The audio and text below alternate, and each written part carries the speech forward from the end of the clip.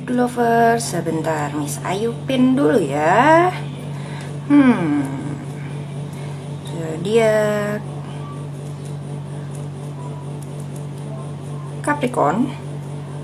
Hmm, kali ini kita bahas zodiak Capricorn. Miss Ayu harus mengetik dulu. Miss Ayu serius Capricorn, Aquarius sama apa ya Miss Ayu? Lupa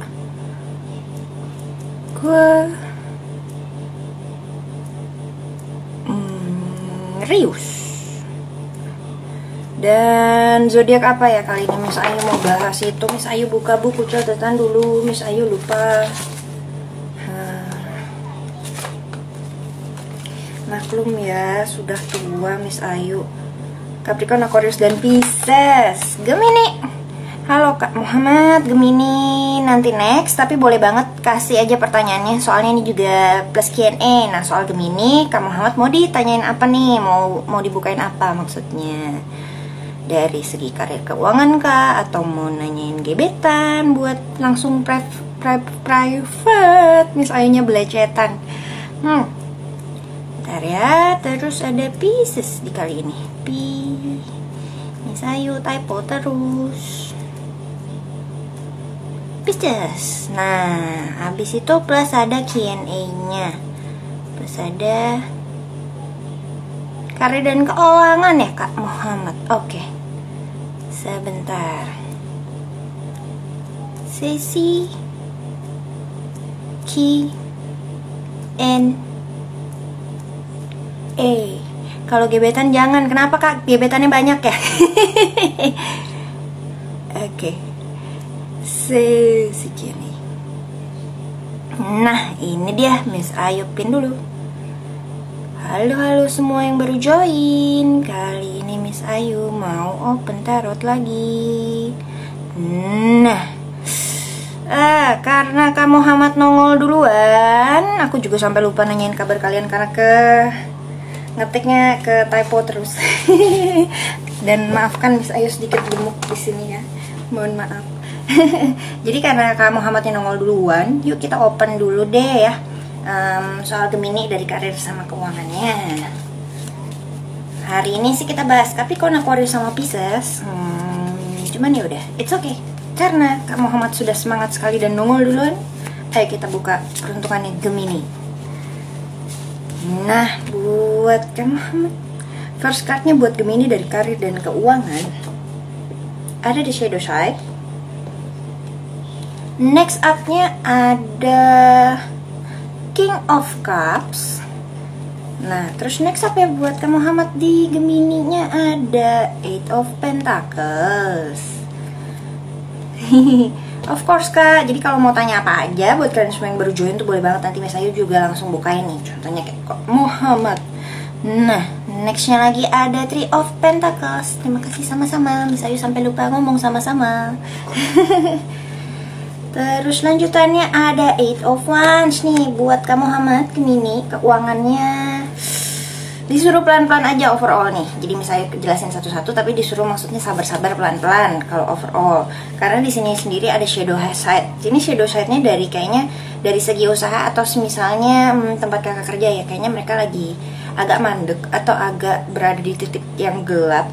Jadi kakaknya sendiri pun di sini agak dari hati merasa terganggu ataupun ngerasa goyang di kerjaan yang ini mungkin agak ngerasa kayak hmm, apa harus pindah, apa harus terusin atau cara kerjanya ada yang salah gitu. Mungkin lagi agak galau-galau di karir keuangan ini cuman uh, dari Eight of Pentaclesnya kayak disuruh pelan-pelan sabar-sabar. Eight of Pentaclesnya kan kayak dia lagi ngelapin koinnya disusun satu-satu pelan-pelan kan one by one gitu. Dititih gitu pelan-pelan nggak apa-apa sabar-sabar aja.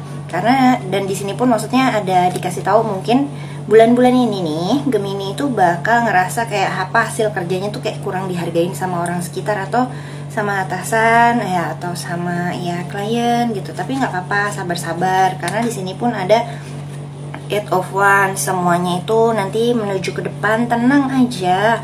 Pasti ada jalannya dan menuju tempat yang terbaik buat ke depannya memang lagi banyak konflik karena di sini kan bisa dilihat sendiri tuh. Tongkatnya banyak banget kayak lagi ada struggle, cuman ini nggak apa-apa karena perjalanannya tuh masih menuju arah depan, yang masih menuju banyak mimpi dan cita-cita ke depan gitu deh pokoknya ya entah capai target atau apa gitu, tapi masih tetap berjalan. Jadi buat Gemini dari keadaan keuangannya nih Kak Muhammad, ya mungkin di bulan ini merasa kurang dihargai, terus juga memang harus pelan-pelan sabar-sabar dikerjain aja udah Terus dari sini memang dari hatinya agak nggak enak gitu, agak ngerasa mau pindah atau gimana gitu. Tapi nggak apa-apa karena maksudnya ya memang juga lagi agak goyang gini dari dari segi bidang pekerjaan yang dikerjakan atau usahanya gitu, Kak Muhammad. Nah, oke okay, buat kalian semua yang join. Hello, This is Tarot on the bednya Miss Ayu. Jadi buat kalian semua Kali ini Miss Ayu mau bahas zodiak Capricorn, Aquarius, dan Pisces. Tapi buat kalian semua Karena ini pas sesi Q&A Kalian boleh banget langsung ketik pertanyaan kalian Di kolom komentar. Hmm, boleh juga Bukan boleh sih Miss Ayu Kalau boleh minta nama sama zodiak kalian Kalau kalian bertanya. Nah nanti Miss Ayu langsung openin tarotnya buat kalian Gitu. Nah karena ini Gemininya udah kelar gimana kamu Muhammad? Sedikit membantu atau tidak? Maaf kalau agak kurang resonate ya. Uh, oke okay, habis kamu Muhammad kita lanjut ke readingannya buat jadwalnya ini ya. Capricorn. Dari Capricorn dulu dari segi karir dan keuangannya di akhir bulan Juli ini ya. Ini masih Juli. Uh, tapi tahun ini cepet banget loh. Nggak berasa ya udah bulan 7 Oke, kakaknya sama banget dengan apa yang dirasa di usaha saya sekarang. Hmm, pelan-pelan ya kak, sabar-sabar. Untung resonate ya, tapi di situ tenang aja. Perjalanannya ke depan bakal lancar dan bakal baik kok. Cuman ya disuruh sabar-sabar aja sama ya dijalanin aja. Mudah-mudahan saya bisa melewati nya fase ini dengan baik. Amin. Kak Muhammad amin. Dan semoga readingannya membantu ya. Kan jadi udah tahu nih ke depannya kurang lebih kayak gimana. Kan udah ada nasihatnya juga. Ya semoga bisa membantu Kak Muhammad. Oke kita ke Capricorn. Capricorn dari karir dan keuangannya di akhir bulan ini ada Four of Pentacles.